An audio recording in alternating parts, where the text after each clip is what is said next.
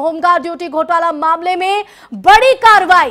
तो divisional commandant समेत पाँच गिरफ़्तार हुए हैं। मुख्यमंत्री की सख्ती के बाद हुई गिरफ्तारी। तो तत्कालीन कमांडेंट राज नारायण गिरफ़्तार हुए हैं। कल होमगार्ड कमांडेंट के दफ्तर में आग लगी थी। घोटाले से जुड़े दस्तावेज़ जलकर खाक हो गए थे।